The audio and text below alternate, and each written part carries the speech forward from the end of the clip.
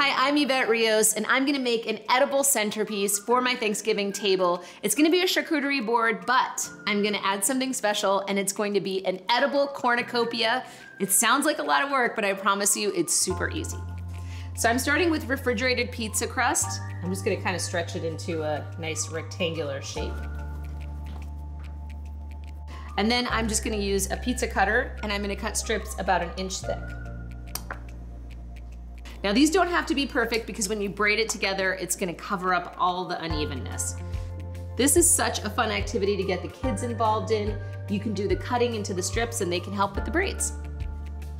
Now that this one's done, I'm gonna start wrapping it around the form that I made out of aluminum foil.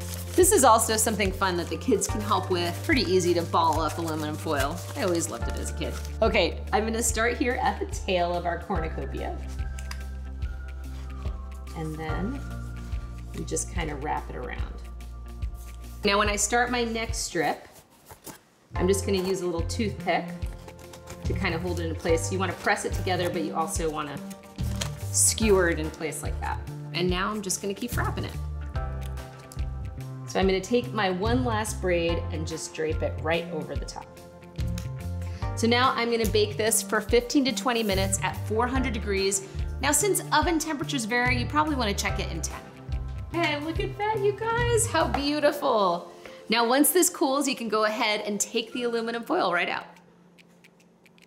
Now I'm leaving a little bit right in there because that will help hold the form. And then I'm gonna take out my toothpicks since this is going to be the centerpiece of my Thanksgiving table, I chose a nice big tray to make my charcuterie board. You wanna think about color when you're putting together your board and just sort of pop it all over. Some olives. And then I've got my salami flower here. This was super easy. Just take the salami, kind of fan it out inside of a ramekin. And then I've got some peppadews here.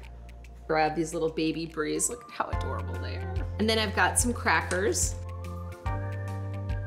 I've got some Cornichon. I'm gonna put them right over here. I love having dried fruit. These apricots are gonna be so beautiful. And I love how beautiful sliced oranges are. Got some Marcona almonds here. I'm just gonna add some pomegranates. I think they look so luscious. And then maybe some more grapes. Put this one here. You know, and if you're having trouble figuring out where to start when you're putting together a board like this, you can always reach out to your Hy-Vee cheese specialist. They know everything there is to know about cheese. They'll pick out some seasonal ones, like this one is a cranberry. There's some manchego, which is a staple. It's available year round. And make sure to always have a cheddar for people who might be a little bit intimidated about all the new cheeses. Okay, let's go put our centerpiece down. And this is not just a beautiful centerpiece, it's also a great place for your guests to start while you're finishing dinner. And then when you take this out, you've got the perfect place to set down your main course. I hope this helps you and happy holidays.